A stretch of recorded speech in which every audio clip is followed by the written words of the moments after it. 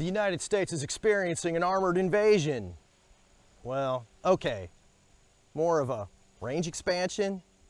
And I'm not talking about tanks, but the cool armored mammal known as the nine-banded armadillo, Dasypus novemcinctus. I'm Anthony with Backyard Ecology, and today I'm going to tell you about the rapid northward expansion of the nine-banded armadillo into the United States.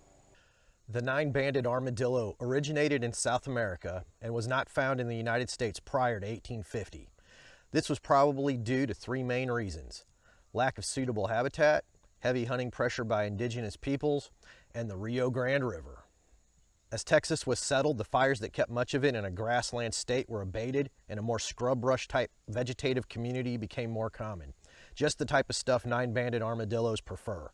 Hunting pressure by indigenous people was greatly reduced and ferry boats and bridges were installed along the river. Although armadillos are capable swimmers, they much prefer to walk to their destination. Any armadillos crossing the Rio Grande either by stowing away on a barge, casually crossing a bridge, or channeling their inner Michael Phelps to swim the river, now found habitat to their liking. And so began their expansion into the United States. If you are enjoying the story of the northward expansion of the armadillo, make tracks to that like button and smash it like an armadillo digging up an anthill. By 1995, the nine-banded armadillo had increased its range northward to Missouri and east to Florida.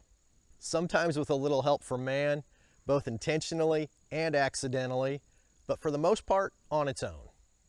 By 2010, it had reached southern Illinois, western Kentucky, all of Tennessee, and completely expanded into all of the Gulf Coast states, South Carolina, and into North Carolina.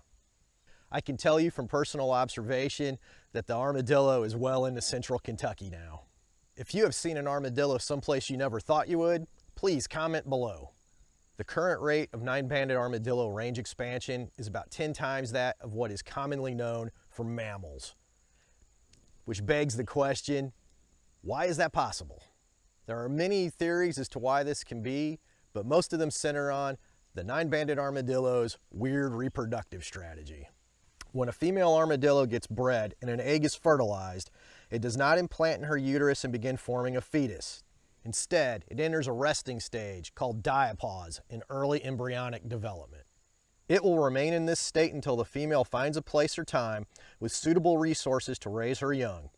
Diapause can last up to 14 months in the nine-banded armadillo, so a female can travel quite a distance before she gives birth. The other odd thing about armadillo pregnancies is that the fertilized egg will divide and become identical quadruplets. So nine-banded armadillos almost always have four young, all the same sex. A female giving birth to four daughters greatly increases the potential armadillo population growth in an area as a single male could account for up to 20 young armadillos in the next breeding cycle. It is easy to see how a new expansion population can grow quickly from just a few armadillos. So where will this range expansion stop? No one knows for sure, but the current theory is that where the January average temperature is below 28 degrees Fahrenheit, armadillos won't be able to survive. This corresponds with a diagonal line that runs roughly from Kansas City to the state of New York. Of course, there is another animal that colonized the United States after expanding from South America, and it was thought that critter would get stopped by cold weather too. That critter is the Virginia opossum, Didelphis virginiana, and it has now made its way into Canada.